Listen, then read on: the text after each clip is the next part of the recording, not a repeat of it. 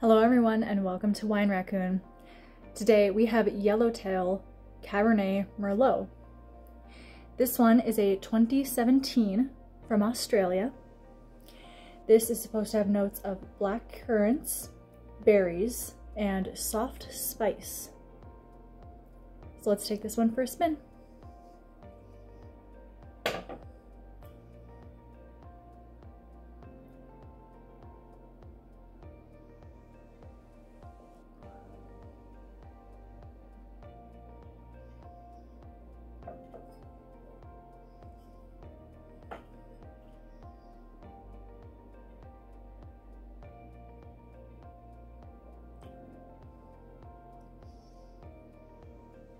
You're immediately hit with that black currant flavor.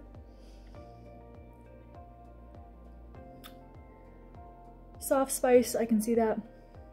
It's, it's, you know, I associate black currants with like a peppery flavor.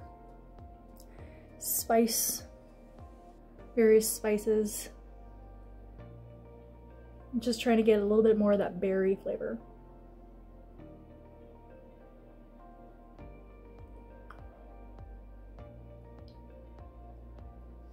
If nothing else, you get a bit of the berry flavor more toward the front of the mouth, on the tip of the tongue.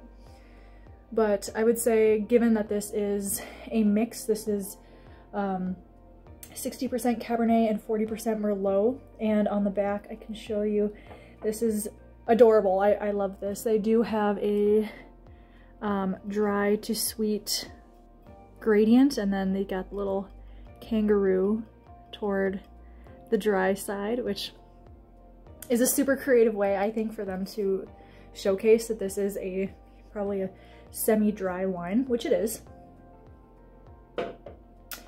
Um, yeah, overall, you really get that black currant and spice all over the tongue. Um, not a, it's, the berry is not very prominent,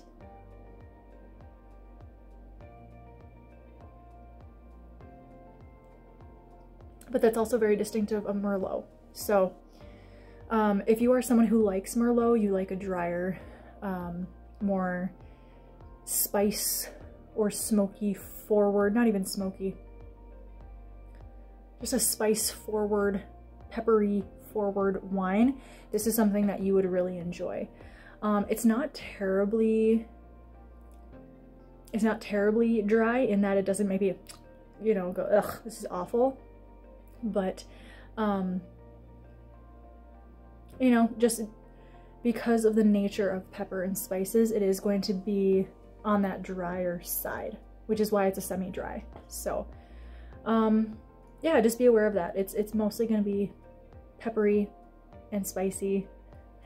Not a lot of berry flavor, but that is really distinctive of Merlots. So, um, but for what it is, it's not hyper dry where it just makes your mouth feel very dry. So, um, so that's pretty good on a scale of zero to five, zero being I never want to drink this again, and five being I want to drink this every day. Um, just due to my personal preference, uh, I would probably give this maybe a 1.5. Um, it's, it's okay for what it is. The only reason I'm even giving it the 1.5 is because it's not super dry in the mouth. Um, but I'm just not a personal fan of the spice and, and blackcurrant flavors. So that's all I have for you. If you have any questions, comments, or recommendations, feel free to drop those in the comments below.